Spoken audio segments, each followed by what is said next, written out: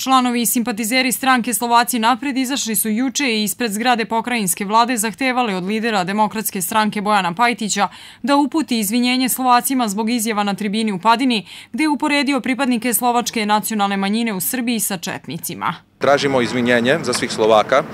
Ja kao Slovak se osjećam jako pogođen. Zbog, zbog ovog smo i doneli ove transparentne da je Vojvodina jedna multietnička, jedno multično etničko društvo gde žive sve zajednice i mi želimo da žive sve zajednice u miru.